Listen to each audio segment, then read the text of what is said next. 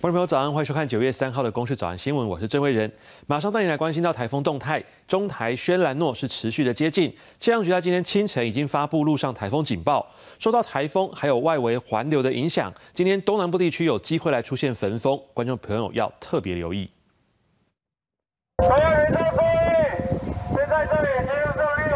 海巡人员在三仙台风景区拉起封锁线，吹哨示警，官让民众快离开。随着轩岚诺台风逼近，海边的浪越来越汹涌。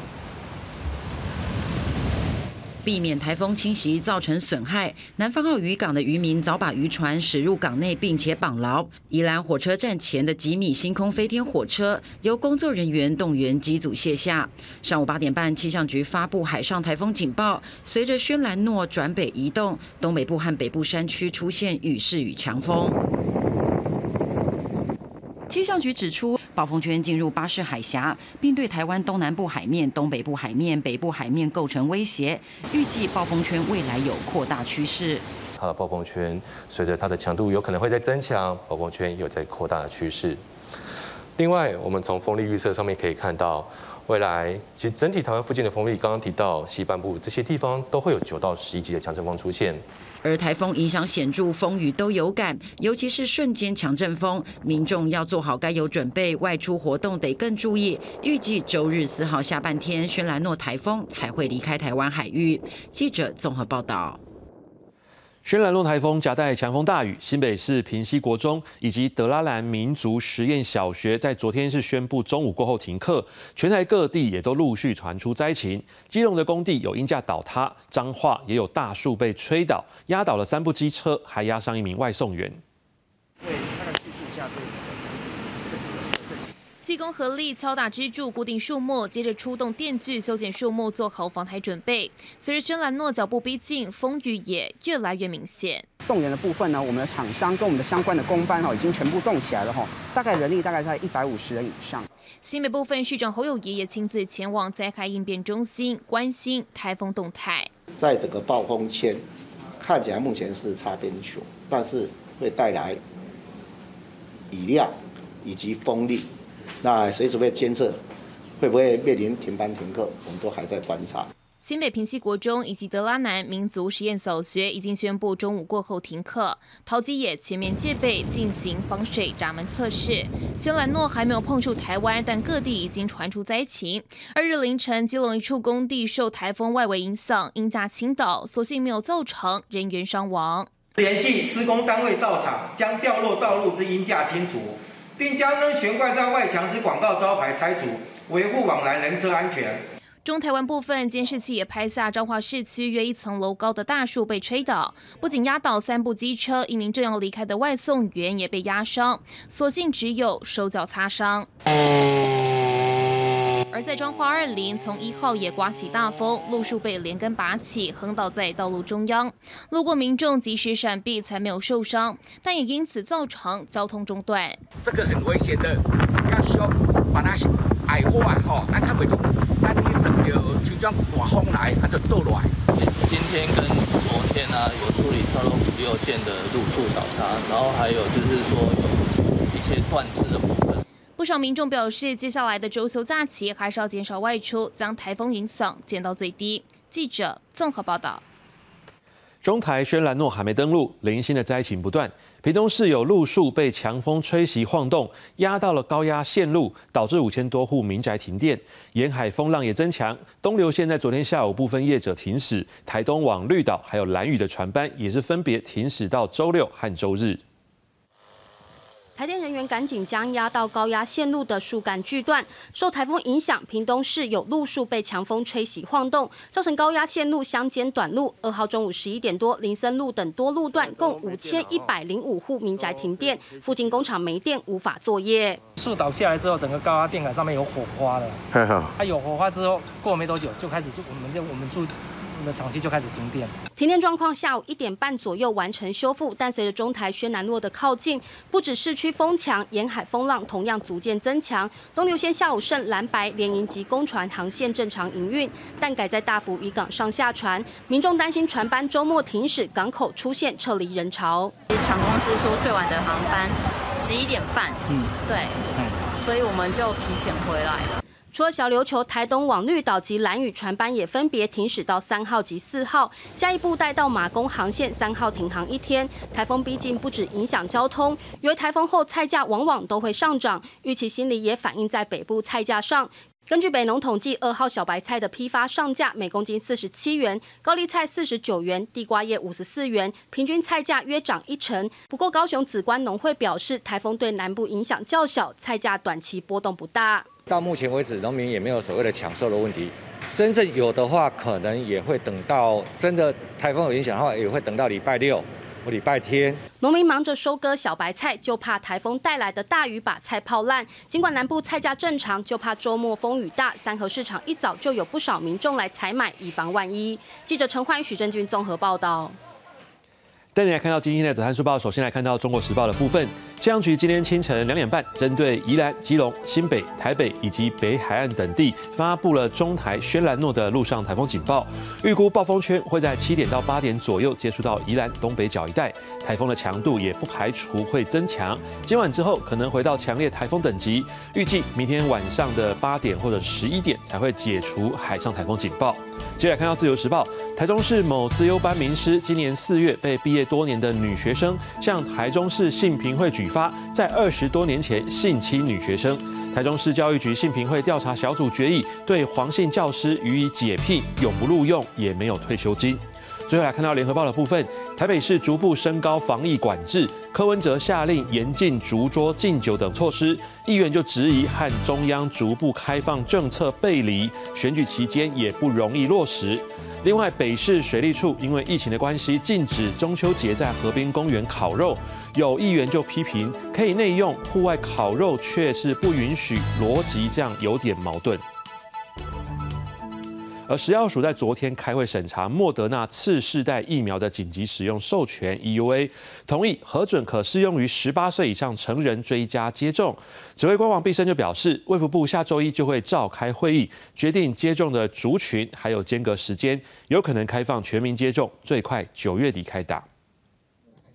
国内新冠疫情将迎来下一波高峰，食药署在二号下午审查莫德纳次世代疫苗紧急使用授权，同意核准可适用于十八岁以上成人追加接种，并将在下星期一 ACIP 的会议中进行讨论如何施打。ACIP 会告诉我们要怎么打，好，那这个包括施打的族群是什么，那间隔是多少，那其他已经打过第四季的或者是。呃，确诊的要间隔多久可以打？目前在国际间共有两种组合的次世代疫苗，分别为英国上个月核准的莫德纳原始武汉病毒株加 BA. 点 one，以及美国这几天批准的武汉株加 BA. 点五。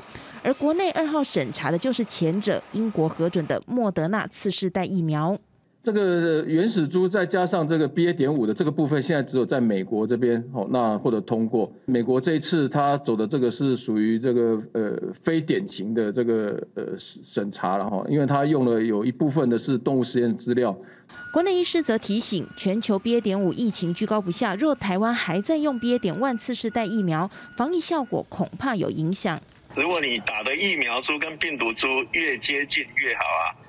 啊，所以因为现在台湾流行的是 BA. 点五，所以如果你换成 BA. 点五，效果就最好。那你如果换成 BA. 点一呢，效果就其次啊。如果你还是打原始的武汉株呢，效果就更差。那这个也是美国他们要换成 BA. 点五的原因呢。至于是否可能开放全民施打，王必胜表示有可能，但会设年龄限制，施打年龄门槛还需再讨论。最快九月底、十月初开打。记者韦陈昌为特报道。本土的 BA. 点五疫情升温，在昨天新增三万三千四百八十三例本土病例，已经是连续四天破了三万例。此外呢，在桃园机场九月一号的深夜，疑似是因为防疫计程车不够，导致有外籍学生、返台国人以及外籍移工被困在机场大排长龙。指挥官王必生已经表示，请桃机公司把流程改善优化，以利开放更多人入境。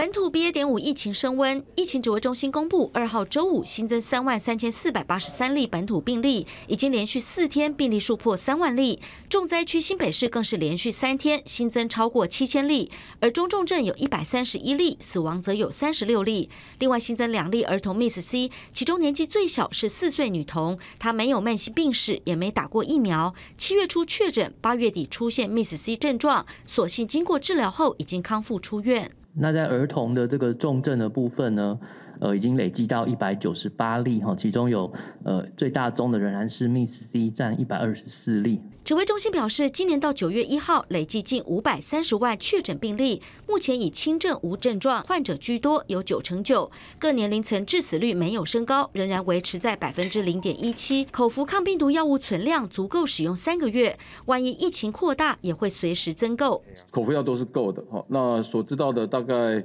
呃可以用量都还有这个三个月以上好。那我们当然也会看疫情的规模，如果疫情规模。这比我们想象的大，使用量比较大的时候，我们也呃最近也都有跟厂商联络，呃都是可以随时在增购。此外，目前每周放宽到五万人入境，不过一号周四晚间却爆出疑似逃机防疫计程车不够，导致外籍学生返台国人以及外籍移工困在桃园机场大排长龙。对此，王必胜解释，因为尖峰班机较多，才造成拥挤，已经请桃园机场公司把流程再改善优化，以利开放更多人入境。记者赖淑敏、吴家宝、詹淑云台北桃园采访报道。新冠疫情升温，台南的成大就宣布开学前两周远距，第三、第四周报备后比照办理，但被教育部要求配合中央远距到十八号。学生就认为有不少外县市的学生都已经返校，还不如全部上实体课比较有效率。一号起，全国大专院校陆续开学。虽然成大五号才开学，校内已有学生活动。不过上月底，成大以疫情升温为由，率先宣布开学前两周线上远距教学，实体课程报备，后两周待核定后比照办理，和教育部措施不同，引发争议。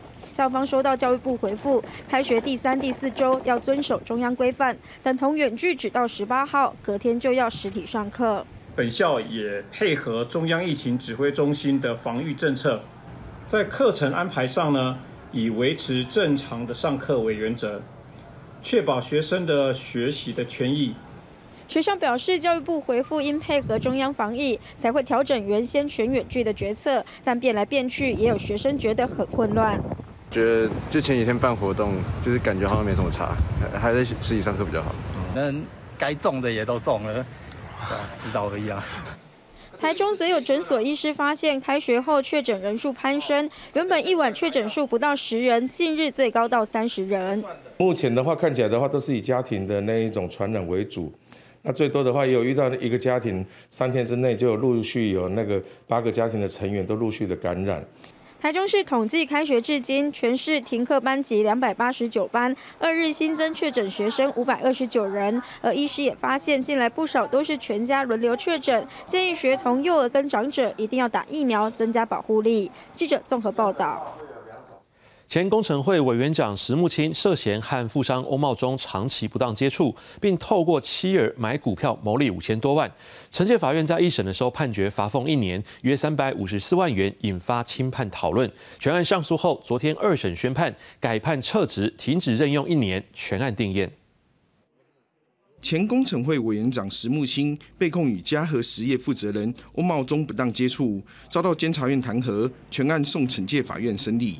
惩戒法院去年一审判决罚俸一年，约三百五十四万，并且认定大部分事实已经超过旧版工程法规定的十年追审期，不予易处。不过，全案上诉二审后，二审认为石木清在二零一六年的买卖股票行为还在法官法追惩的时效内，并且认为犯罪时效连贯，因此废弃一审判决，改判撤职，停止任用一年，全案定验。法官惩戒的目的，不仅在导正法官的不当行为。淘汰不适任的法官，对于现职法官也有达到警惩的预防作用。对这个判决结果，司改会认为这个案子已经树立惩处法官违纪的典范，值得赞同，也呼吁惩戒法院应该以同样标准审理其他相关案件。应该用免除法官职务，不得再担任公务员才对嘛？这个是这么简单的道理，为什么这么难判断？整个司法如果没有自省。自自清的话，人民不会相信司法是公平的。这个超过十年的行为都要纳入惩戒。那我们认为说，这个适用是专门针对委员长的一个比较新的见解，所以我们对这个判决其实。蛮遗憾的。对判决结果，石木清透过委任律师强调，认为这个判决结果完全失去行使惩戒权的意义，痛批是一个因人设事的判决，对判决结果深表遗憾。记者陈嘉欣、谢振林台北报道。揭弊者保护法草案，目前立法院朝野党团有十几个版本，尚未审查。而荣联裕的荣联电的荣誉董副董事长宣明志就表示，向阳基金会收到二十三件揭弊案，但吹哨者为了自保，最后都却步，呼吁立法院应该尽速完成立法。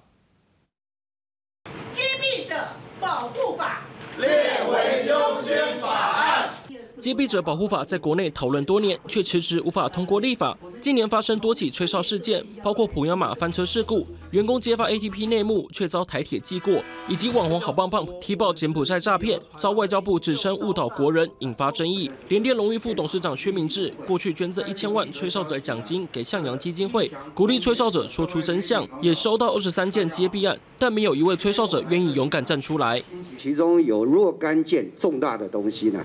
是可能可以去揭弊的，但是碍于现在的法令没有得到适当的保护，到最后呢，他们还是这个却步了，不敢站出来。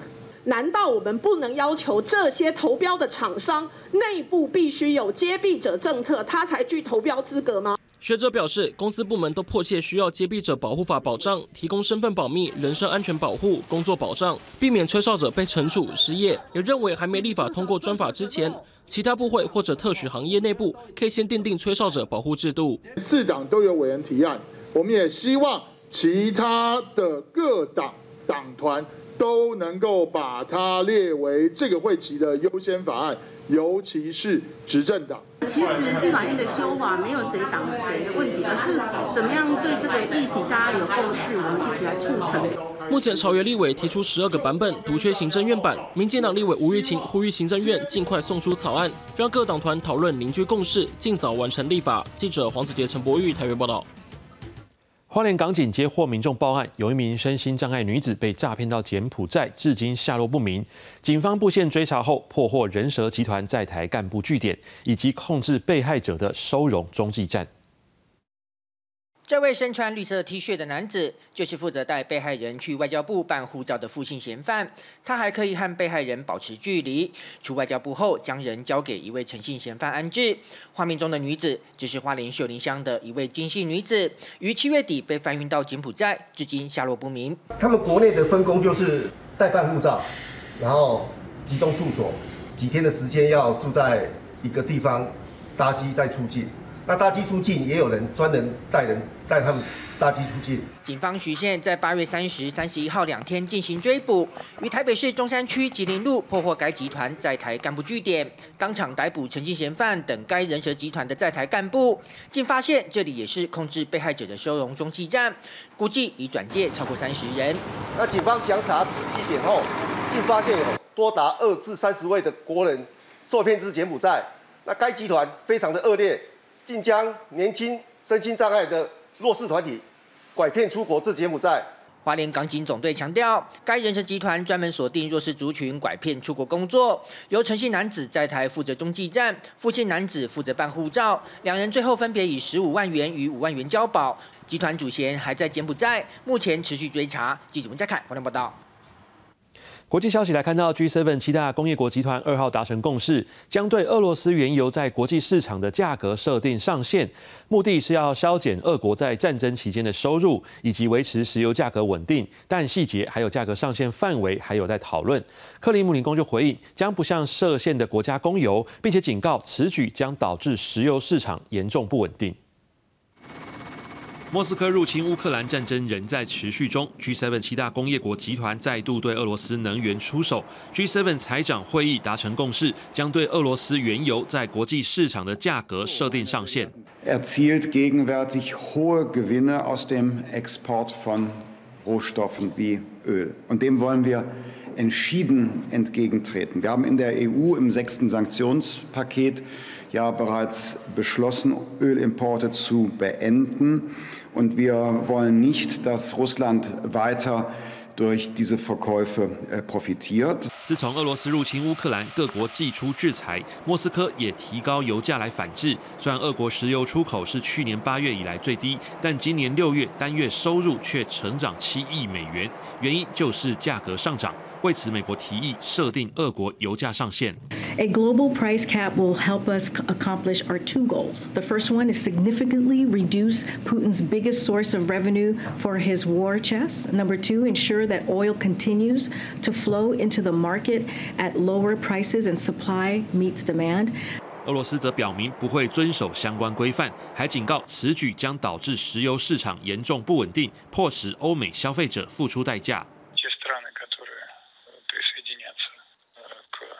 потенциальному такому потолку цен, они не будут среди получателей российской нефти.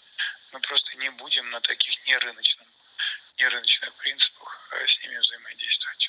乌克兰总统泽伦斯基对油价上限的措施表示欢迎，也说俄国天然气同样该设定价格上限，不过相关细节和油价上限范围还有待讨论。公司新闻郑伟人、钟建刚编译。 接着让我们一起来关心今天各地详细的天气预报资料。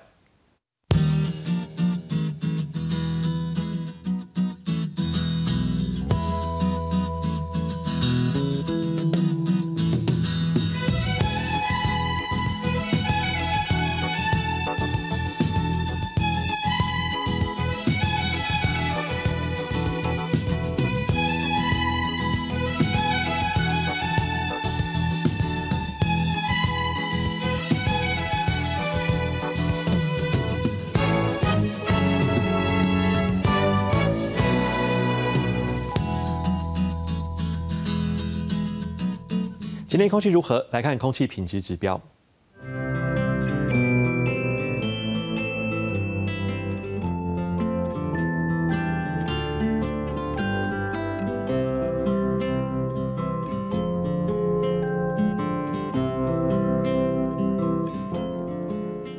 感谢您收看这节的《公视早安新闻》，我是郑伟仁，我明天同一时间再会。